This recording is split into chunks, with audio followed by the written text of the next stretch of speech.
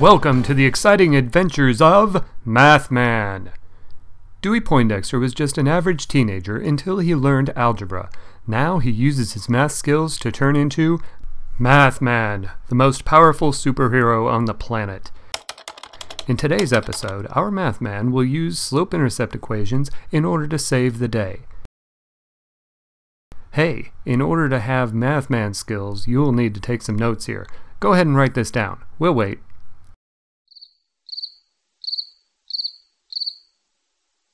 Yes! Okay, now back to our story.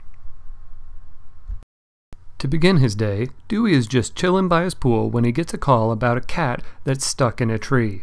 This is a job for Mathman. Mathman must create a staircase to get to the top of the tree. Using his supercomputer, he determines that he needs to create a staircase whose equation is y equals 3 halves x plus 0. At the scene, Mathman tries to take a shortcut. When that doesn't work, he quickly finds the x-axis and the y-axis. Mathman compares the equation from his computer to the slope-intercept formula. He can clearly see that the slope is 3 over 2 and the y-intercept is 0. Since Mathman knows that you always begin with the y-intercept, he begins at a height of 0. Then he places his first step. Hopefully you remember from the slope section that the top number, or numerator, of the slope represents how far you need to go up or down. Positive numbers go up, negative numbers go down. The bottom number, or denominator of the slope, represents how far you need to go across. Positive numbers go right, negative numbers go left. Since both the numerator and denominator of the slope of 3 halves are positive, Mathman will create steps that go up 3 and right 2 units.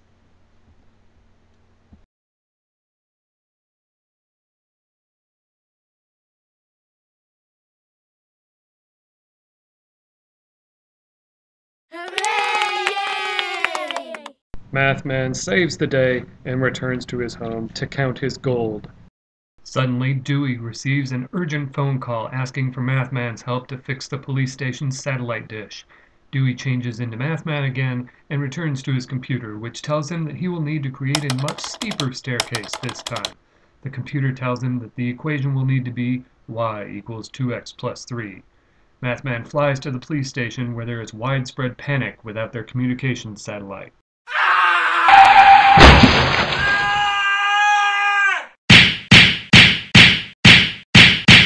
Mathman compares the equation from his computer to the slope-intercept formula.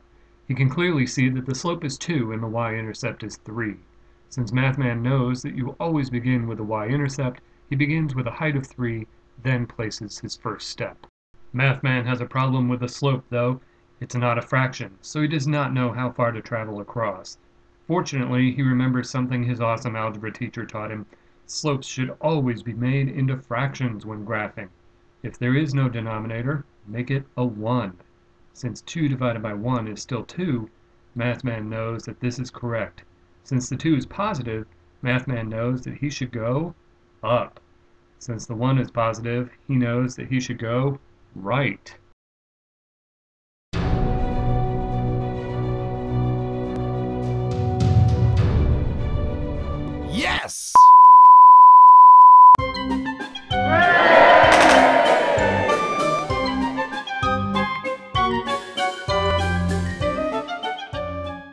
Suddenly, Dewey receives yet another urgent phone call asking for Mathman's help to save someone who's being held captive on top of the haunted mansion.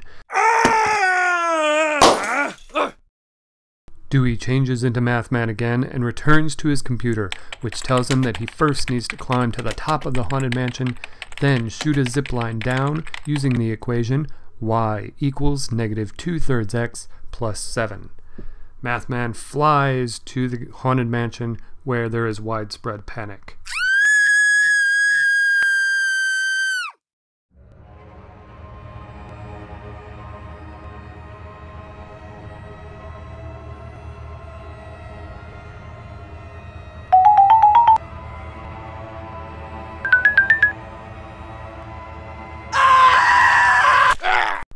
Mathman saves the day again.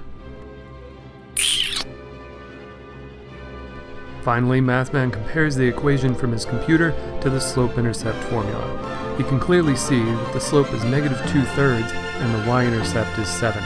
Since Mathman knows that you always begin with a y-intercept, he realizes that this means his height is currently 7. Mathman has a problem with the slope though. He doesn't know if the negative should go on top or bottom. Fortunately, he remembers something his awesome algebra teacher taught him. The negative can go on top or bottom. But Mathman always preferred putting it on top. Since the 2 is negative, Mathman knows that he should go down.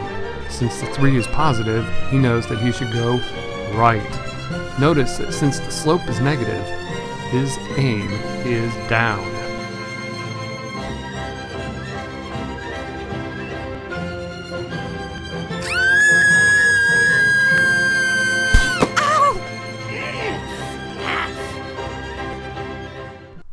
Once again, Mathman returns back to his home, this time to relax on his private boat.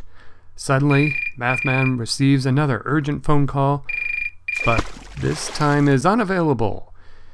Well, that's all we have for today. Please join us again for more exciting adventures of Dewey Poindexter, Mathman.